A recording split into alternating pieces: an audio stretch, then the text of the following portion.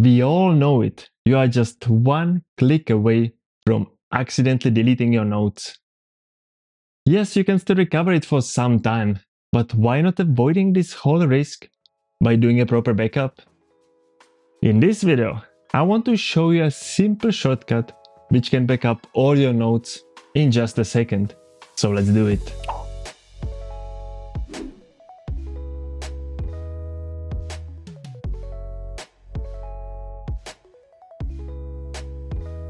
Before actually going to the Shortcuts app, let's create a standard folder where you will save all of your notes files, your backup folder.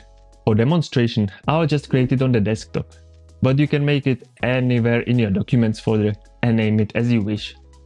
And now, it's already the time to open the Shortcuts app. Here, click on this button to create a new shortcut. I'll name this Notes Backup. Alright, we have to start by searching for the notes, so the first step is to add an action called find notes. If you want to back up all your notes, you can just leave it like this.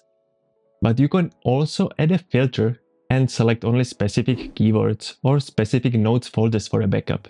I really have many notes, so for this video, I'll just select my work folder. It's not actually saving the folder, so you need to loop through each one of these items. So type here repeat and use repeat with each.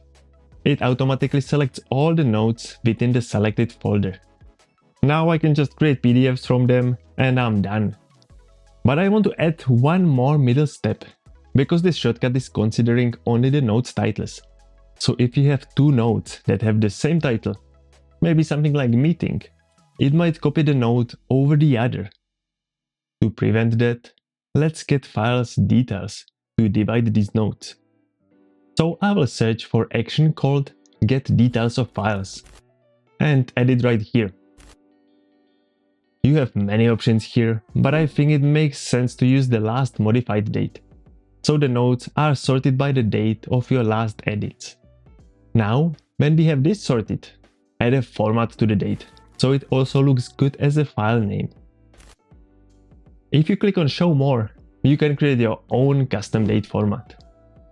But to make it simple, I will keep the short date format and select the time to none. Now everything is set up, so we can add a key action to make files from our notes, to make PDFs. So add the action under the formatted date. It has to go in this position, but of course we are not going to make PDFs from the formatted date. So right click it here and change that to the repeat item. And the last step is to save the created files. So let's add the last action, which is called Save Files. It will be saving the files wherever you want. But to properly manage it, click on Show More and deselect Ask where to save. Instead, I can set it up to the folder I have created in the beginning of this video and automatically save all the notes into my backup folder. Again, this is optional step. You can just leave it to be asking you every time where you want to save it. But I like my shortcuts to be really just one click actions. The sub path here is used to create the names of your files. We have done that before, so let's just right click it and insert the variables. First is the formatted date. Then make space and do the same again. Right click or control click it here and go to insert variables. This time add the repeat item, which should be set to name. Now just two more clicks. Check the tick box, overwrite if file exists. This will make sure that every time you use this shortcut, it will replace the old backups with the new notes. And the second click is to the subscribe button. That will make sure you will not miss any other tips in the future videos. But let's test it out now. Click on the play button. The first time you run this is going to ask for permission to make sure it can write these files. So confirm that and soon you will find out that all the notes are appearing in your backup folder. At this stage I would also recommend to have the Notes app open. It can sometimes show an error if the app has not been open for some time. And to make it even easier, you can click here on the info button and pin this action into the menu bar. So next time you want to backup your notes, you don't even need to open the Shortcuts app. You can just do it with one simple click from the menu bar.